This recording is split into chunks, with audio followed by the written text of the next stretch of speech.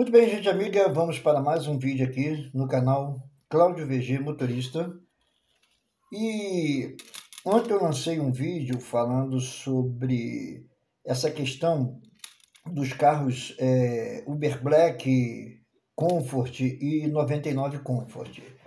Anterior a esse vídeo, eu lancei um vídeo onde eu falava que estava ficando sem assunto, porque os assuntos nos aplicativos estavam é, ultimamente sendo sobre tretas entre youtubers e pessoas que ficavam ali brigando, chamando outros para confusão e tal, e eu falei que estava ficando difícil, que quando tivesse assuntos relevantes, então eu voltaria a gravar vídeo. E agora realmente tem pintado aí uns, uns assuntos que são necessários. O de ontem eu falei sobre os carros Uber Black e o cuidado para você não comprar, não correr atrás, não sair se endividando e comprando carro para entrar nessas categorias, já que a gente não pode confiar no que os aplicativos dizem ali. Você não pode confiar que aquilo que a Uber disse que vai ser a partir do dia, é, acho que é dia 8, a partir de janeiro de 2024, vai ser aqueles carros mesmo, ela pode mudar até lá. Eles mudam sempre da noite para o dia. Mas o assunto hoje é um assunto bem sério e eu gostaria que você assistisse o vídeo até o final.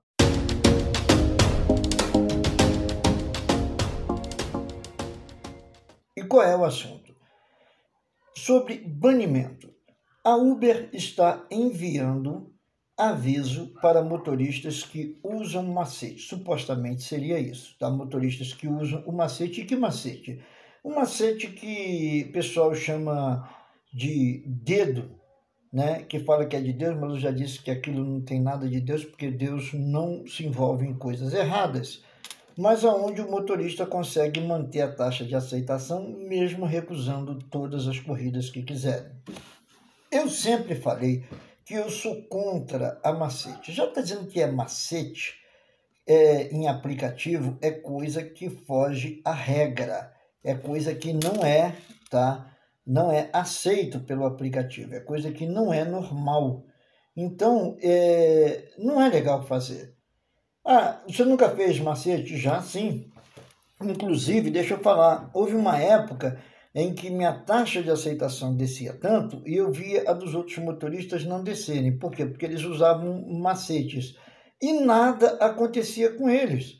Chega um momento que você fala, pô, isso é covardia, cara. Nem que está usando porra, de uma parada errada e, e, sendo beneficiado e nada acontece, e eu estou trabalhando certo, estou sendo punido.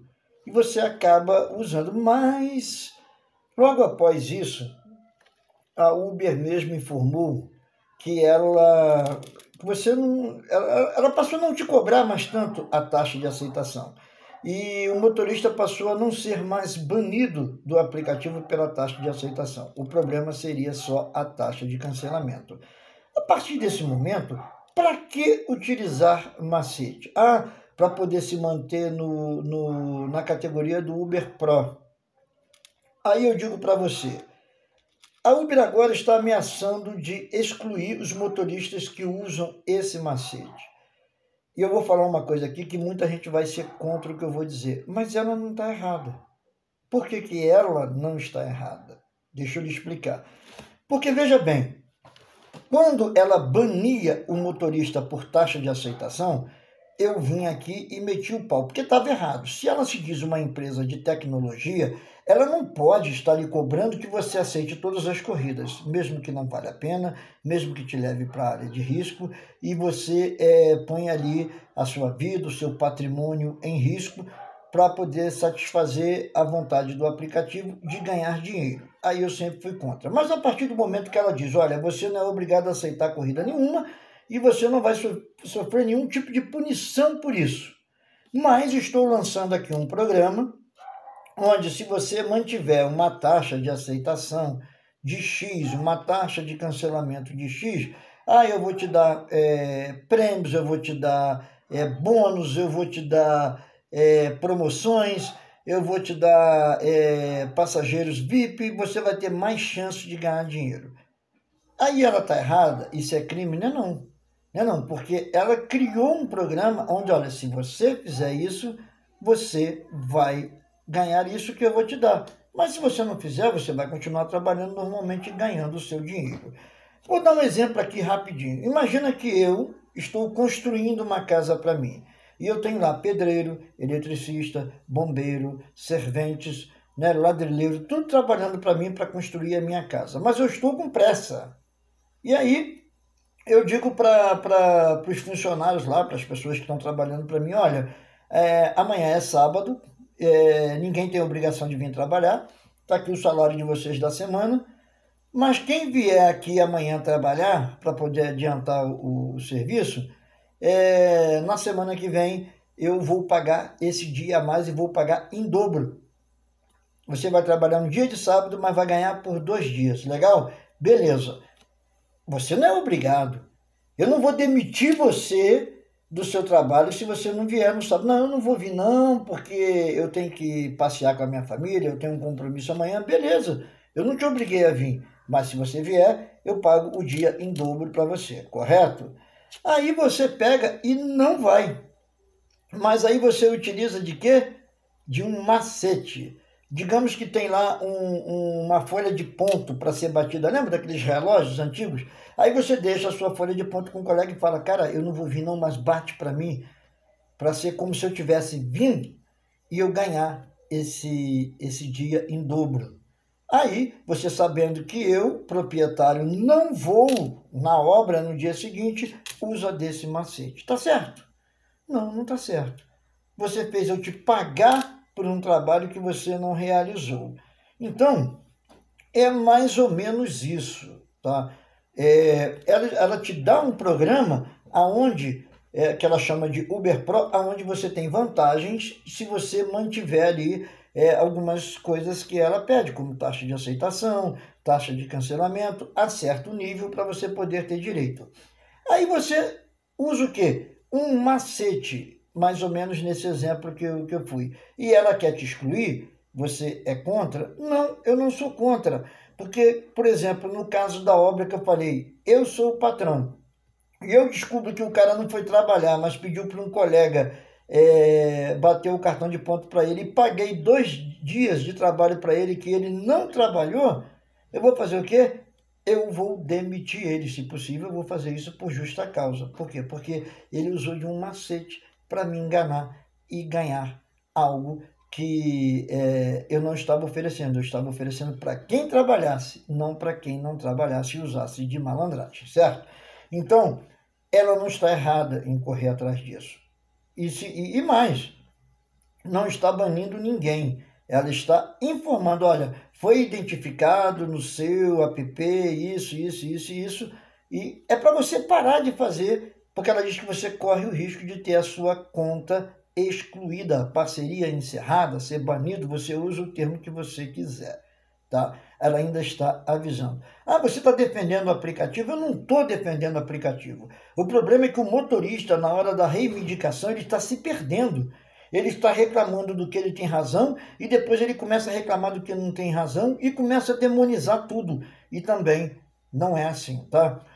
Por que, que eu estou falando tudo isso? Para te dizer isso que eu vou dizer agora.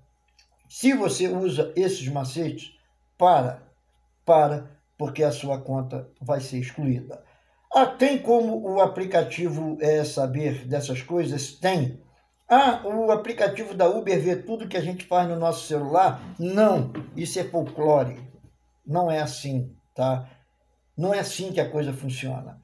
Mas é um algoritmo, e quando eu vou falar de algoritmo é que eu fico na bronca, porque vem. Olha só, eu não sou da área de TI, certo? Mas eu sou da área de eletrônica há muitos anos e, e estando dentro da área de eletrônica, eu estudei um pouco de programação, embora não trabalhe diretamente com isso. Mas eu sei do que estou falando. E vem um monte de gente que não sabe do que está falando e fica falando bobagem. Ah, vou te ensinar a manipular o algoritmo, vou te ensinar isso, aquilo, aquilo, outro. E não entende nada, mas são metidos a entender. Então, eu vou te dizer, não é que a Uber vigie o seu, a sua câmera quando abre, o que você fala. Não é por aí, cara. É porque é o seguinte: existe uma coisa chamada padrão e log de erros. Toda vez que você toma uma ação, aquilo vai criando um log e vai criando um padrão. Quando você não aceita uma corrida, é, aquilo gera um padrão. Se você é, não aceita a corrida exatamente no mesmo tempo, ah, aquilo ali toca 5 ou 7 segundos, sei lá. A primeira você recusa com 3 segundos, a segunda você recusa com 4, a outra você recusa com 5. Por quê? Porque o ser humano é assim, você vai olhar, viu, não me interessa, pá, você vai lá e recusa. Mas quando você usa de, uma, de um programa para fazer isso, aquele programa está assim. Se você não aceitar a corrida, vamos botar que ele toca 7 segundos. Se você não aceitar a corrida até 5 segundos, em 5 segundos ele recusa a corrida para você. O que, que vai acontecer? Aquilo vai criar um padrão de 5, 5 e 5 segundos. Toda corrida sua é recusada em 5 segundos. O ser humano não é preciso assim. É preciso uma máquina, é preciso um, um robô, que a gente chama de robô eletrônico, né? Para poder fazer isso. Um programa desse para poder fazer isso, que vai fazer exatamente sempre aos 5 segundos. Eu não estou dizendo que os programas Stop Club e outros que tem aí, do, é, de, dessa linha aí do Microdroid, faz isso. Tá? É, eu estou dizendo que é assim que a coisa funciona. Então, o algoritmo, ele entende aquele padrão.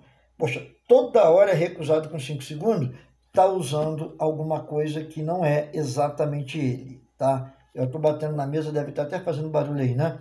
Está usando alguma coisa que não é exatamente ele próprio. Ele está usando algum, algum tipo de programa, alguma coisa. E aí é uma forma que a Uber, da Uber saber, tá? Do algoritmo da Uber saber que você está usando um programa que interfere é, no trabalho dela, que deveria ser você a recusar ou não. A questão dela não querer que você saiba o valor, não, isso aí eu sou contra. Você é obrigado a saber o valor e se você tem dificuldade de fazer uma conta rápida, você tem um programa que possa te ajudar. Isso não afeta em nada, tá? aí já é outra história. Mas enfim, o vídeo está ficando longo. Se você usa esse macete, pare de usar. Porque se você precisa da sua conta Uber, você deve parar para você não perder. Agora, se você não está nem aí, aí é contigo mesmo, tá? Não é para defender aplicativo que eu estou falando essas coisas, é para defender você e a sua conta se você precisa para trabalhar.